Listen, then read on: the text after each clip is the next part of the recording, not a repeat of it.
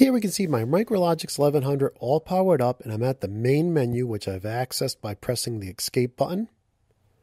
And if I want to change the digital trim pot values, the first thing I'm going to have to do is press the down arrow button four times to select advanced set and press the OK button.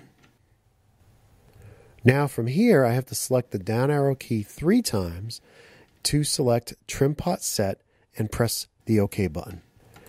Here I can see I have LCD 0.pot0 and I have LCD 0.pot1. We're going to start with pot 0, so I'm going to leave that selected and press the OK button. And here on this screen, we can see the trim pot minimum for this pot is 0. The trim pot max is 250, and the current value of pot 0 is 0. So what I'm going to do is I'm going to hold down the up arrow key to change the value of pot 0. Here you can see I've changed it to 11. I'm going to hold down the up arrow key some more. And now you can see the value is 29.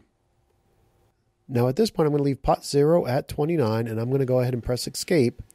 Press the down arrow button once and then press the OK button to change pot 1's value. Now here you can see trim pot 1's T-min is 0, its max is 250, and pot 1's value is 0. So let me hold down the up arrow button and change the value.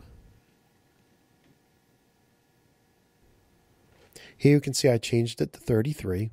Now I'm going to press the left arrow twice so I can change the hundreds value.